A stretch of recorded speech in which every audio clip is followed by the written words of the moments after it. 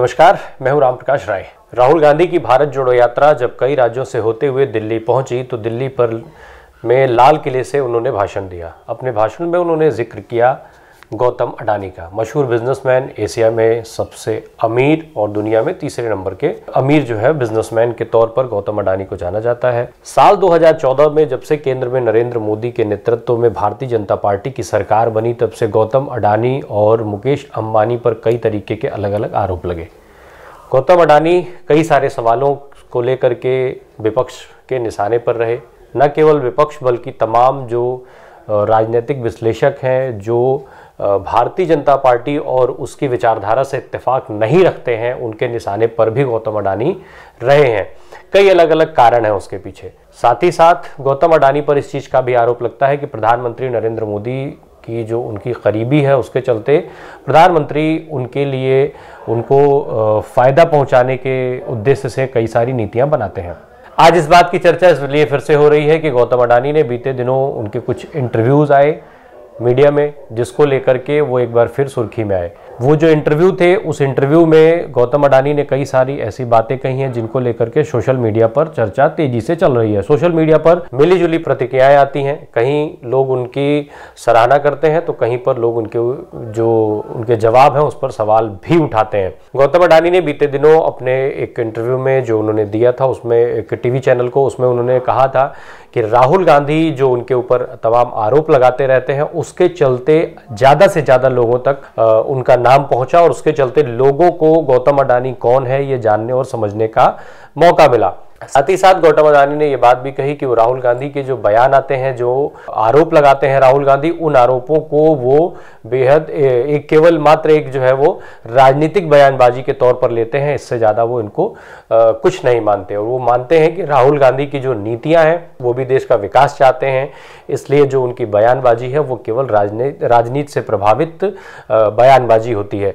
इसके अलावा जो चूँकि राहुल गांधी अक्सर अपने तमाम भाषणों में वो आरोप लगाते रहते हैं केंद्र की नरेंद्र मोदी सरकार और खुद प्रधानमंत्री नरेंद्र मोदी की गौतम अडानी और मुकेश अंबानी से नज़दीकी को लेकर के बार बार वो सवाल उठाते रहते हैं, उन पर मजबूती से निशाना साधते हैं। कई सारे आरोप लगाते हैं। ऐसे में वो जो है, इन सवालों का जो जवाब है, वो बेहद महत्वपूर्ण हो जाता है। गौतम अडानी ने अपने टीवी इंटरव्यू में ये बात स्पष्ट की कि जो उनकी बयानबाजी है, चूँकि राहुल गांधी इस देश के एक प्रतिष्ठित नेता हैं, एक अच्छे राजनयिक हैं, इसलिए जो ये जो भी आरोप हैं, वो केवल राजनीतिक बयानबाजी हैं। साथ ही साथ जो गौतम अडानी के कंपनियों पर जो कर्ज को लेकर के आरोप लगते हैं उसका भी उन्होंने जवाब दिया।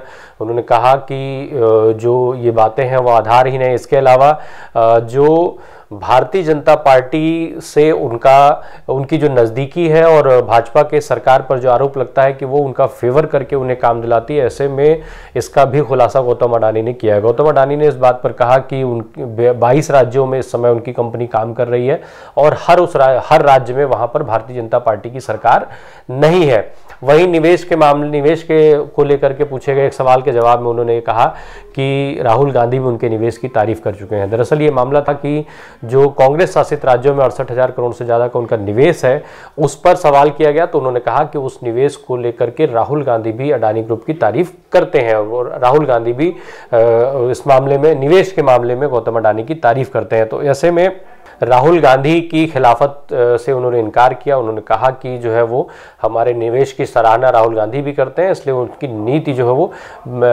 विकास के खिलाफ नहीं है। ये गौतम अडानी का मानना है, जो उन्होंने जवाब में कहा है। इसके अलावा नरेंद्र मोदी से उनकी नज़दीकी को लेकर के उठने वाले सवालों के जवाब में गौतम अडानी ने कहा है कि जो नरेंद्र मोदी से नज़दीकियों की बात है तो नरेंद्र मोदी जी से कोई भी जो है वो आप निजी मदद नहीं ले सकते हैं। भले ही कितनी भी बात कही। साथ ही साथ उन्होंने ये भी कहा कि वो गर्व से ये बात कहते हैं कि चूँकि नरेंद्र मोदी गुजरात के मुख्यमंत्री रहे लंबे समय तक और उनके संबंध उनसे अच्छे रहे हैं, ये बात भी उन्होंने स्वीकार की। और साथ ही साथ उन्होंने कहा कि आप उनसे निजी मदद नहीं ले सकते, आप केवल उनसे नीति से जुड़ी हुई बातें कह सकते हैं। तो ये जो बातें हैं, गौतम अडानी का जो ये इंटरव्यू है, इंटरव्यू में दिए गए ये जो जवाब हैं सवालों के, वो सोशल मीडिया पर खूब वायरल हो रहे हैं। सोशल मीडिया पर तमाम लोग उनके समर्थन में आ रहे हैं। वहीं कई लोग उनके ऊपर सवाल भी उठा रहे हैं। कहीं उनके जवाबों को लेकर के उनके सेंस ऑफ़ ह्यूमर की तारीफ़ हो रही है तो कहीं उन पर सवाल उठ रहे हैं। जो तमाम अलग अलग उदाहरण के माध्यमों से सवाल उठाए जा रहे हैं कि आखिर किस तरीके से जो वो बात कहते हैं कि भाजपा से उनकी नज़दीकी या जो सरकार है, सरकार को लेकर के जो आरोप लगते हैं कि वो अडानी के लिए काम करती तो इस पर भी इस, इन सबको अलग अलग उदाहरणों के माध्यम से तमाम यूज़र्स जो है उस पर अपनी प्रतिक्रिया देते हैं। अब ऐसे में जो ये तमाम सारे आरोप गौतम अडानी के ऊपर हैं, जो जो चाहे वो विपक्षी दलों के द्वारा लगाए जाते हों या तमाम लोगों के द्वारा, उन्होंने साथ साथ जो रिश्ते हैं दोनों दलों से, उस पर भी उन्होंने बात कह दी, उन्होंने साफ़ साफ़ जो कांग्रेस शासित राज्य हैं, उनमें जो निवेश है अड़सठ हज़ार करोड़ रुपए का, उस पर बात करते हुए गौतम अडानी ने कांग्रेस के साथ भी अपने रिश्तों की बात को पुख्ता करने की कोशिश की। अब ये माना जा रहा है कि ये जो पूरा इंटरव्यू है, चूँकि पिछले कुछ दिनों से लगातार उनके इंटरव्यू अलग अलग प्लेटफॉर्म्स पर देखने को मिल रहे हैं तो कहीं अब ये सवाल भी उठने लगा है कि क्या राहुल के जो आरोप हैं, उसी के चलते अडानी को सफ़ाई देने के लिए मीडिया में आना पड़ा। अडानी अपनी सफ़ाई में ये सारी बातें कह रहे हैं। वहीं कुछ लोगों का मानना है कि वो जो है, जो तमाम आरोप है, उनको खारिज करने के लिए ये जो है इस तरीके के इंटरव्यू लगातार अडानी दे रहे हैं। बहरहाल, अब गौतम अडानी ये जो इंटरव्यू है, वो चाहे राहुल गांधी के आरोपों को लेकर के दे रहे हो या फिर सरकार से जो उनके नज़दीकों के संबंध में या किसी और राजनीतिक समीकरण को साधने के लिए इस तरीके के इंटरव्यू प्लान किए गए हो, ये तो अडानी ही जानते होंगे। या फिर जानती होगी अगर जो भी राजनीतिक दलों की जो सियासी समीकरण है या जो उनके एडवाइज़र्स हैं, वो लोग उन लोगों को पता होगा।